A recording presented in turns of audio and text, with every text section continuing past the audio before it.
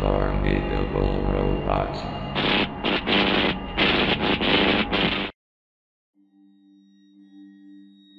I've always loved running my YouTube channel.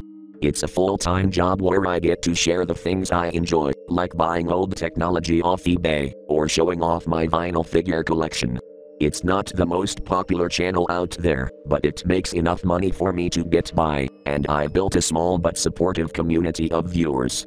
That was until a strange subscription notification showed up. About three months ago, I got a notification that a channel named Ducky's Unboxings had subscribed to me.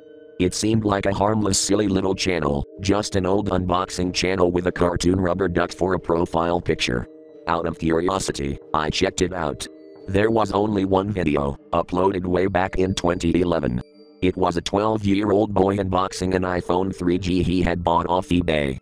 The video was 3 minutes long, shot on a low resolution camera, and the kid was enthusiastic but awkward, like most kids on YouTube back then. He talked fast, stumbling over his words with excitement, saying things like, So yeah, this is like my first iPhone ever, and it's kinda old, but I've wanted one for ages. He opened the box with shaky hands, explaining how he saved up to buy it. I hope it works. I've heard some people get scammed on eBay, but like, I'm hoping this one's okay. It was a bit cringe, but there was nothing especially weird about it, so I clicked off and went about my day. The next morning, when I opened Google Chrome, I immediately noticed something strange. The browser automatically redirected me to that same unboxing video. I thought it was just a glitch, so I tried closing the tab. It didn't work.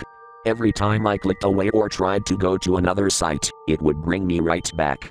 The only way I managed to get Chrome functioning again was by watching the entire video from start to finish.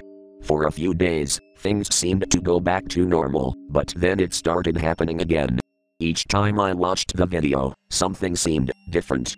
It was subtle at first, like the audio would cut out for a split second, or I'd see a flicker of static. But then the glitches became more pronounced.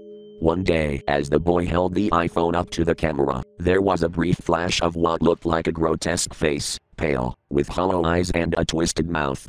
It was only for a split second, but I swear I saw it. The following morning, the video didn't just glitch, it warped. The screen had this eerie black and white static filter, and the boy's voice was distorted. When he reached into the box to take out the phone, the screen suddenly cut to black. Then it showed a close up shot of the boy's face. Only, it wasn't right.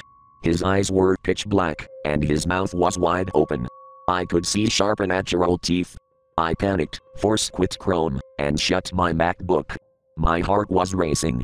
I took my laptop to the local Apple store the next day, explaining what happened. After running diagnostics, they said everything seemed normal and they couldn't find any issues. Frustrated and unnerved, I ended up buying a new MacBook. A few days later, I decided to look up Ducky's unboxings again. Maybe I could report the channel or at least figure out what was going on. But when I searched for it, there was nothing. No channel, no videos, nothing. It was as if Ducky's unboxings had never existed. To this day, I can't explain what happened.